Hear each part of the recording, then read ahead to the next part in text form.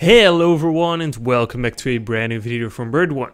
Today we're gonna do the second video of the complete mining rig build. So today we're gonna do, we're gonna go and get you the parts you need for your mining rig. To get started, we can choose between two things, a cheap mining rig or a more expensive mining rig. First of all, I need you to know that it's never too late to start mining and it's really fun to get into the blockchain. So if you've seen the video from yesterday, I just had to make it, but I promise you it's really fun to get started and I really would do it if I was you. And first of all, we need to do a few things. So before we start building our mining rig, we need the components. So first of all, we need to go and choose our GPUs because based on the GPUs, we can see how expensive we are going at the end because the GPUs are the most expensive part of the whole mining rig.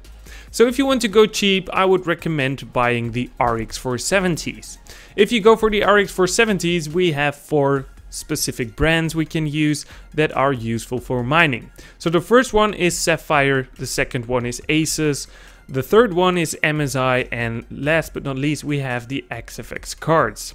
So we also have two different versions of the RX 470s, the 4 and 8 gigabyte version. If you want to sell the cards later on, the 8 gigabyte version will be easier to sell of course, and they only cost a few bucks more, and they will do slightly more hash rate than the usual 4 gigabyte cards.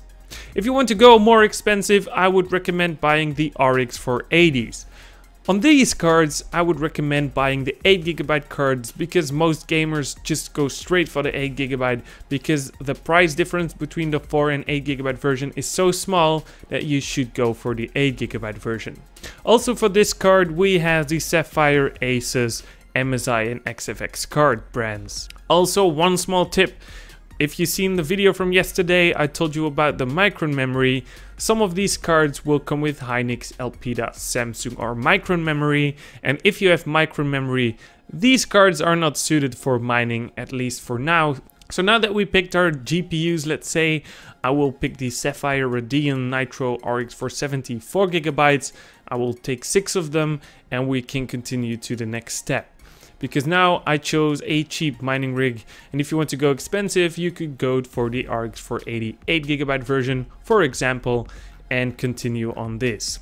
Everything I will say in the video about GPUs, uh, power supplies, motherboards, they will all be on the website where you can buy them through Amazon so you can help out the channel a little bit on the way.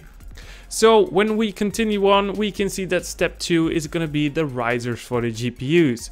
We of course need the risers because risers are the extensions from your motherboard. So these are a must and you can buy them in a six pack or you can buy them singly uh, piece by piece. If you want to extend it later on, like you just buy one GPU and two GPUs, you can just order them one by one if you want. Of course, we do need a SSD or a hard drive to put our Windows on to get started with the miner. So it's not really that we need one terabyte of SSD power, we only need 120 gigabytes and that will be plenty enough.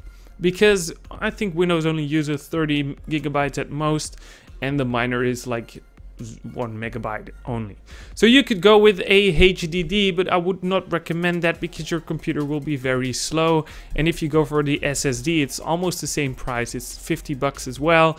You will have a very fast system and you could later on use it for somewhere else or revive an old computer.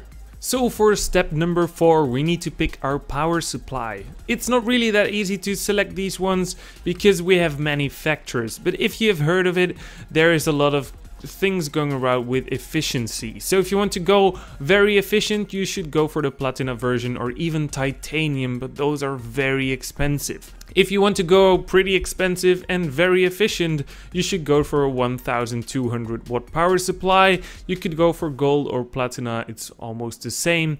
And if you want to go pretty cheap, you could you should go for a 1000 watt power supply with gold of platina version 2. Next up, we will need a motherboard that supports 6 GPUs and to make it easy, I will be using the H81 Pro. So I think all over the world people know this motherboard and may be able to get it, but these motherboards are discontinued, maybe, not sure about it actually now, but this one's gonna be for simple video making because I cannot really cover six GPU mining rig builds with different motherboards while I can just use this one that's fairly common and I think that's the best option too. Next up, on step 6, we will need a CPU. Of course, the CPU will fit only into this motherboard that I know of, and that's the LGA 1150 slot. So I picked these two to make it easy for the video as well. These are pretty cheap, they are 50 bucks each, and you, you could have two options again. So the cheap version is the G1840, and if you want to go slightly more expensive but a little bit quicker, you should go with the G3250 from Intel. So the first one is a Celeron and the second one is a Pentium. The Pentium is of course a little bit more expensive, but you will get a little bit more performance out of it. So number 7 we will need DDR3 memory 1600 megahertz. We have two options over here, they're almost exactly the same, but it's mostly for people that want to buy really cheap memory, you should go for the Patriot Signature, and if you want to go a little bit more expensive I would go for the HyperX Fury.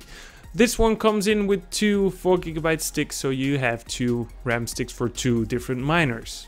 Finally, you will need a power button to turn it on, of course, and it's pretty cheap, it's like 50 cents. And it's an ATX case power switch, so it's pretty easy, just two pins and put it into the motherboard, and you'll be able to turn it on and off. But I'll give you a small tip, I should order it with 10 things at the same time because they're pretty cheap and the sending cost will like kill you if you don't buy enough of it. Because if you only buy one, it's gonna be very expensive to buy only one power case button. But the final step is number 9 and that's one I can really do because you will need a frame to put everything together on and I just picked these two because they are sold on Amazon so you can buy them from there. So the first one is just a mining open air frame where everything is situated on. You can put every component in there. And the second one already has the risers inside it and a backplate to put everything on. So you could build your own if you want with wood or plastic or PVC piping or even aluminum like I do. Okay, so I want to make it simple for you guys and I will put two easy setups in the description of the video. So I will make a cheap version and an expensive version. So if you really don't know what to pick, I will pick these two for you guys. So it's gonna be fairly easy. If you want to have a custom uh, thing or you want some help with something, just put it in the comments below and I'll try to help you out as fast as I can. And a lot of my subscribers are also helping a lot of people along the way. Hopefully you all know what I just said and hopefully you will get the parts you will need for the next video and we will build the mining rig together. So hope you all enjoyed the video and see you guys in the next one.